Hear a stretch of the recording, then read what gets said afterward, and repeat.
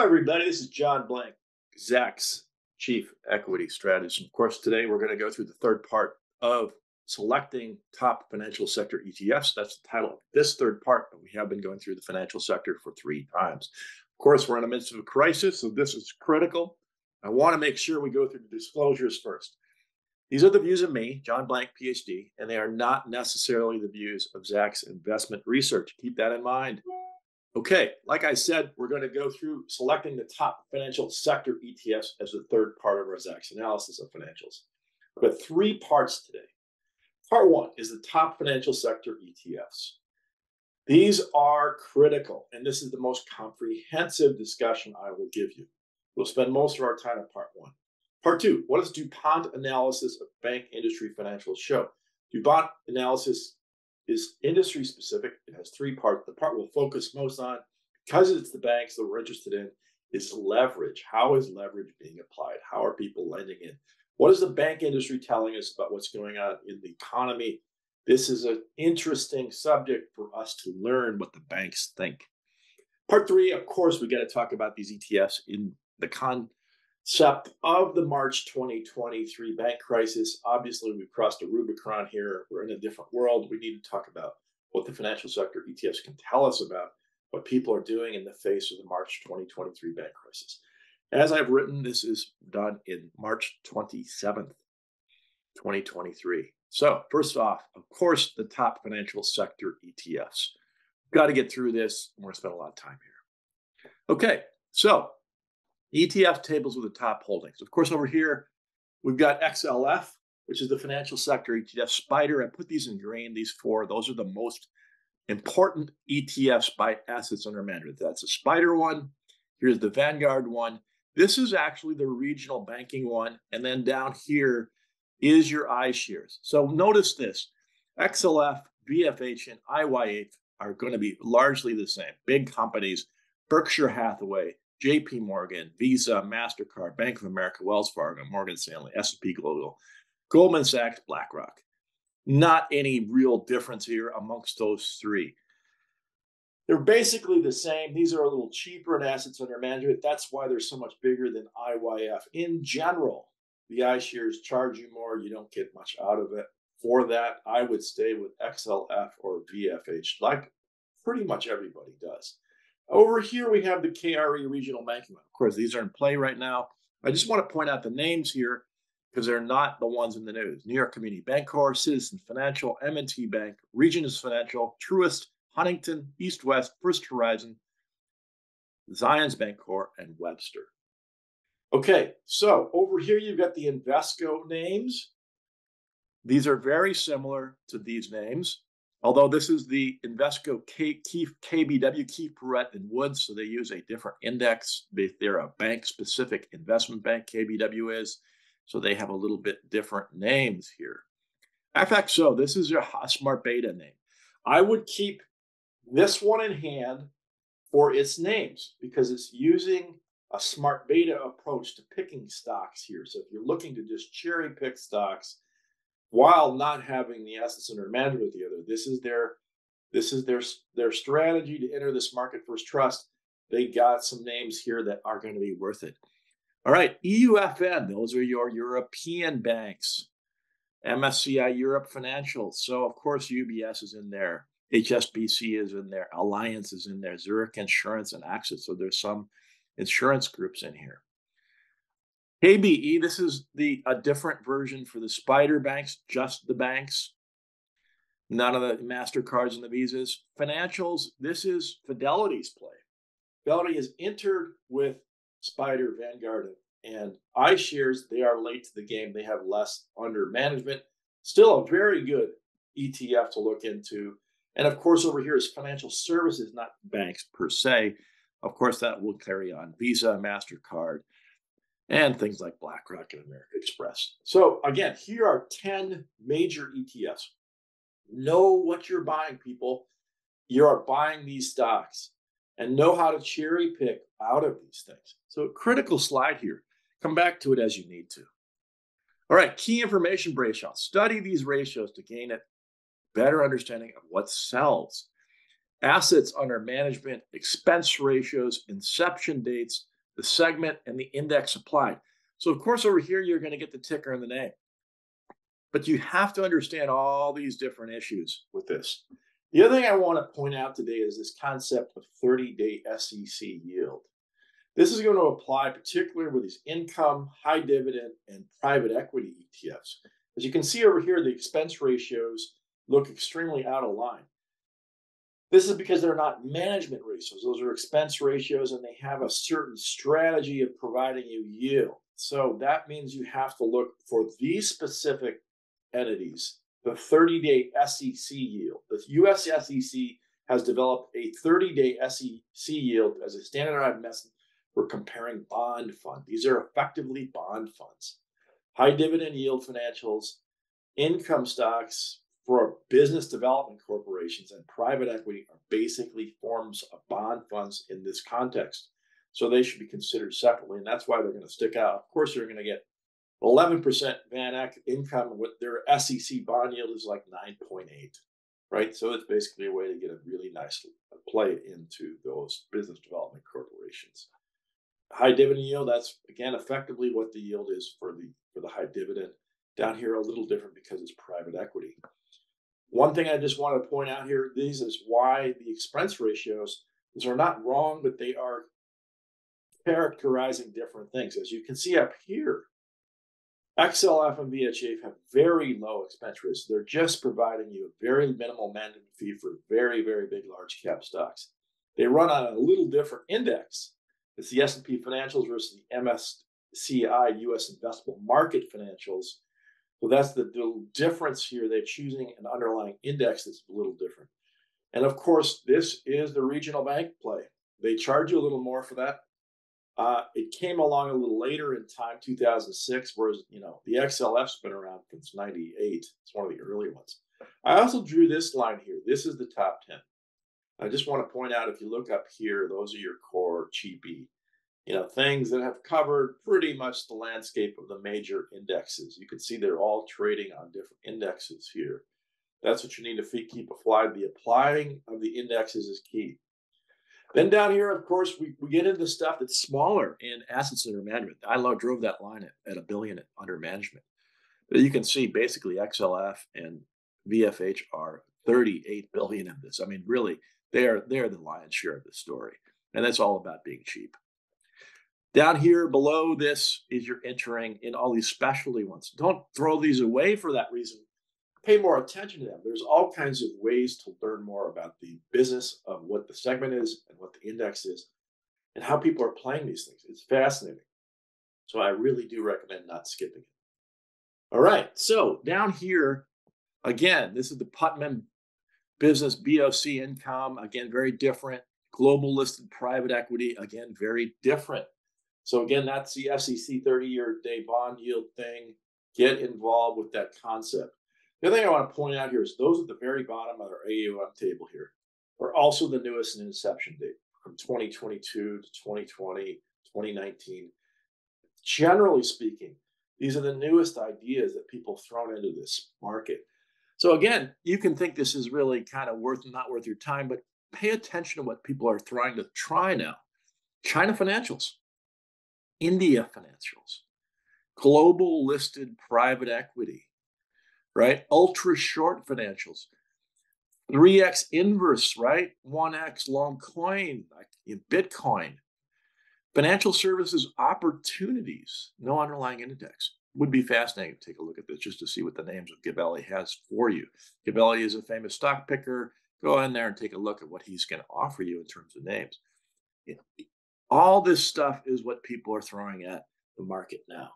Covered call and growth ETF. Um, again, take a look at this just to learn what people are trying to throw at this market now in the post COVID environment. This is worth your time.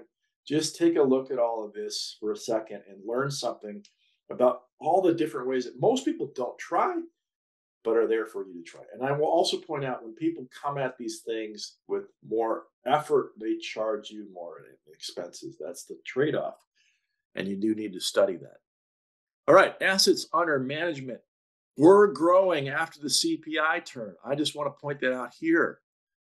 People were investing in this business up until quite recently. This is the monthly percentage change for the top financial ETFs.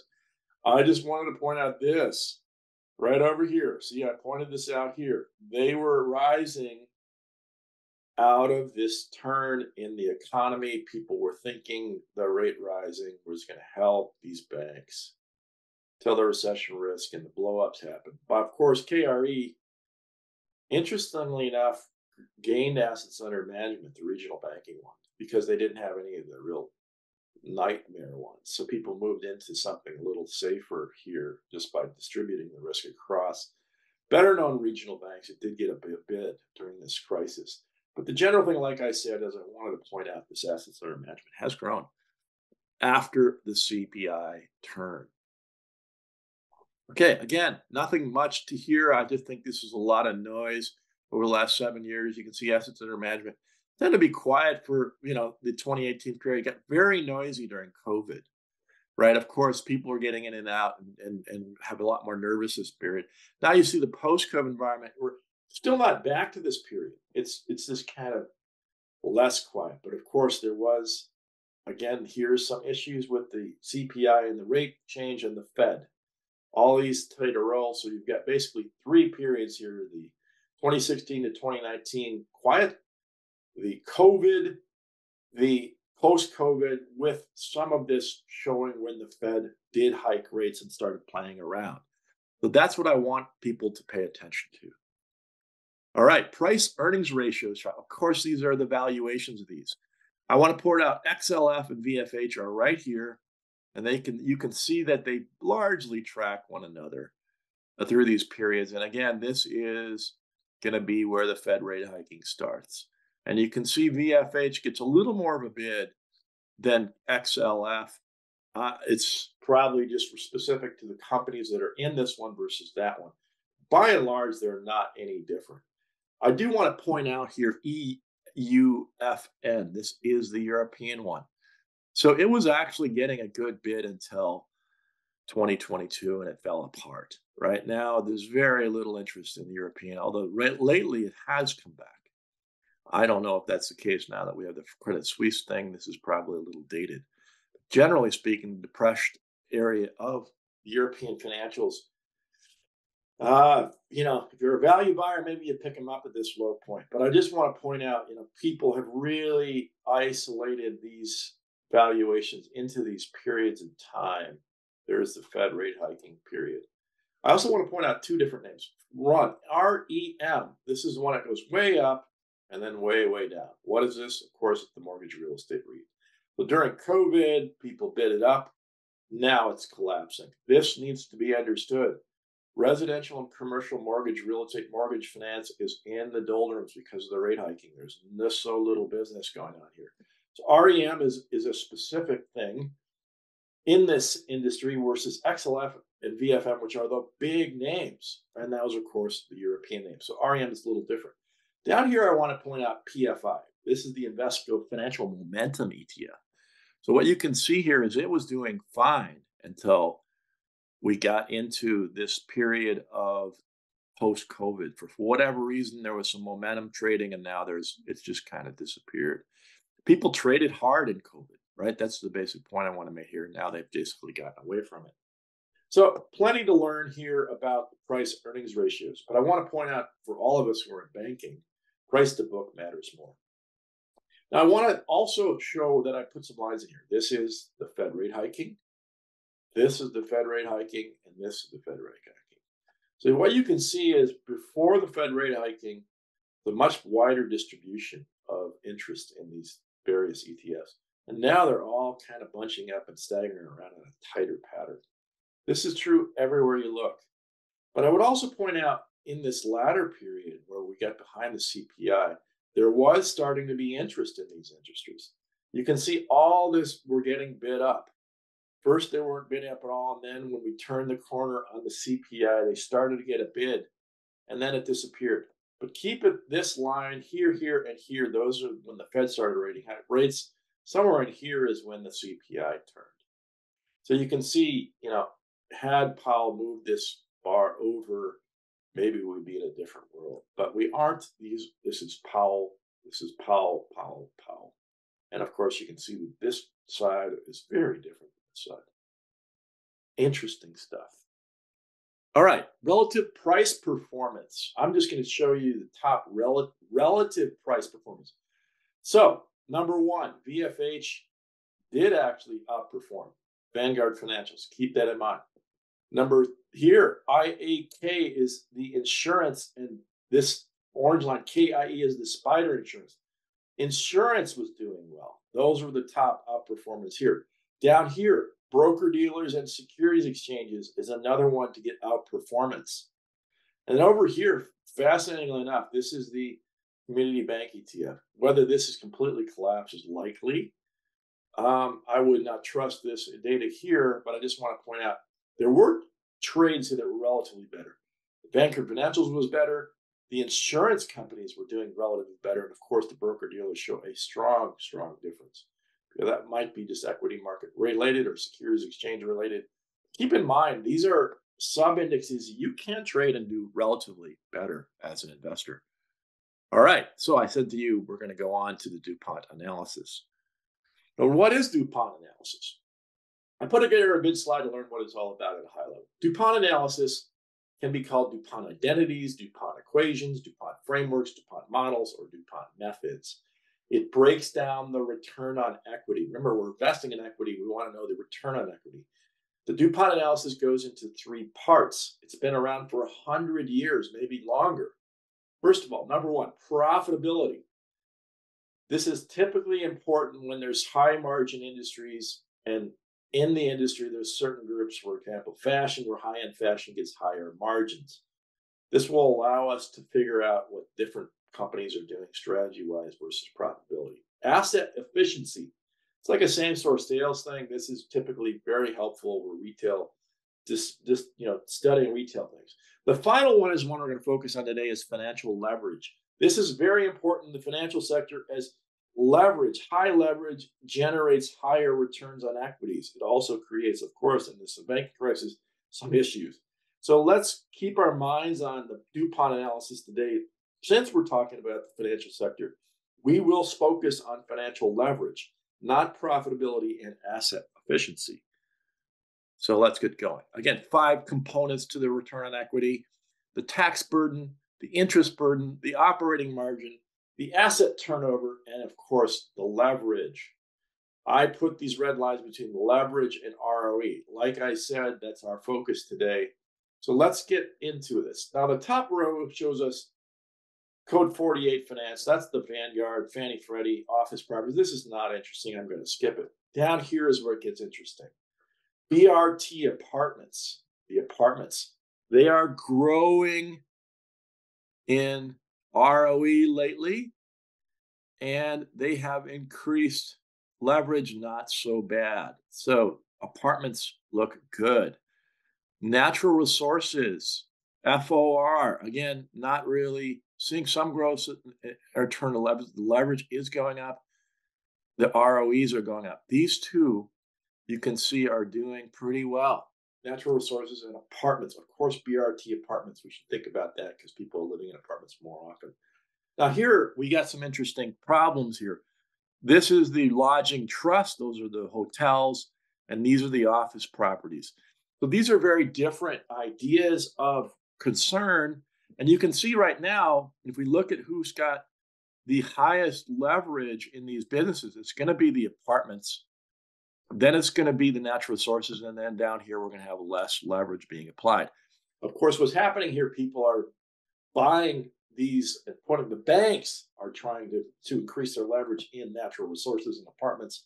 Those are the plays right now. The lodging and the office properties are not the place.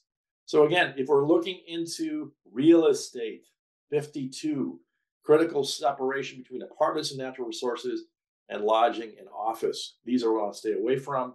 These we want to get into. Okay. All right. On the top row is the banks and thrifts.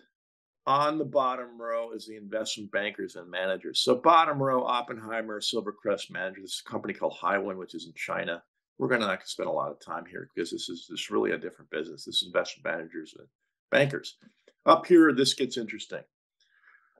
We are talking banks here. So, who do should we worry about? I just want to point out that in general, for example, Horizon Bank Bancorp was not over leveraged. People's Bancorp was not over leveraged. FLIC, which is First of Long Island, was not over leveraged. And then this one is rank, ranking itself up, Home Bank Bancorp. I looked into Home Bank Bancorp. This would be the one I'd be worried about. It turns out they are in Louisiana. They're a relatively new business. And so a lot of this is because they're starting up their business. This should be discounted because of the nature of the situation with Home Bancorp. So by and large, we can't learn a lot here from this slide. I just want to point out the banks and thrifts at the top would have been somewhere we could have learned something. Wasn't a lot there. And you can see how different it is. Leverage in these securities businesses are really, really different. And they change all over the place. And I don't think we can use this as a good analysis. I would spend more of my time on the operating margins down here. Some of them are quite substantial. All right, let's keep moving. Here we go to a different set of industries. This is the insurance companies right here. And again, major banks, but they're mainly outside the United States down here. I just want to point one that I found that could be concerning, which is Western New England bank, Bancorp. Very small company, but you can see they've increasing their leverage to get their ROE up. This would be one where I would be worried about because they're small enough and they've increased their leverage. So I found one. Obviously, it's not a very big one. I'm not going to take the U.S. economy down, but WNEB, Western New England Bancorp, has been definitely raising the leverage. Now, this not, should not be surprising. You know, after a COVID environment, these groups could have expanded aggressively in their neighborhoods because there's such a small base that would happen. Now, there's other types of businesses here that are worth talking about. This is a foreign trade finance business. This is uh, Argentinian bank. This is a Chilean bank. Up here, these are different groups of insurance companies. Again, not really applicable. I would stay on this row and I would basically focus on Western New England Bank. Again, we're just trying to learn something about the difference between leverage and ROE. And you can see the more leverage, the higher return on equity for banking systems. This is the key insight here that you can apply across all three of these slides. All right, so finally, let's get into what happened in the financial sector ETFs during the banking crisis. Everything changed or nothing changed. Let's get into it. First off, IAT did see a bid an increasement. That is the regional banking group. So at first, they didn't get sold off much. They actually got bought and rose because these were the safer ones. This is the safe haven within the banking industry. FAZ, SEF, and Coin were basically strategies of shorting. These were leverage ETFs. You can see how tough this was first it was way up and then it was way down. First it was way up. You of course you shorted it, you got it right, but you also got it wrong a week or two later. And Coinbase, you know, early on it wasn't a big deal, but there was a bid into coin out of the regional bank collapse issues. So coin got bid up. So this is interesting here. The trading stories are here. People who were trading had really different strategies versus uh, non-traders because this is just over a few weeks and you can see actually there was a lot of money to be made if you got these trades not investments right all right let's get into this final one here is equity global financials the biggest outflow was from the global financials and it really did take aum down from 700 to 600 to yes 150 so there was a huge pullout of etf exposure to the global financials in the last couple of weeks that really did happen. Now, over here, we got some inflows, BMO and Granite shares. To my knowledge, these are some shorting and single stock ETFs that had people were playing who were traders, so they added a little more. But the numbers are substantially less than over here. Equity Global Financials, of course, was massive. People got out. So we do see some change in the way people are looking at this industry. People are scared. Uh, that needs to be understood. All right. Thanks for attending. I hope you enjoyed it today. Here's how you can get these slides from us 866 794 6065 or email us at strategycall at zaxpro.com or go to the web at zaxpro.com We're also on LinkedIn at Zacks Professional Services on Twitter at, at ZA Tools. Key thing to do though, just give us a call. That's the easy way to do it. Thanks a bunch, and I hope you enjoyed it.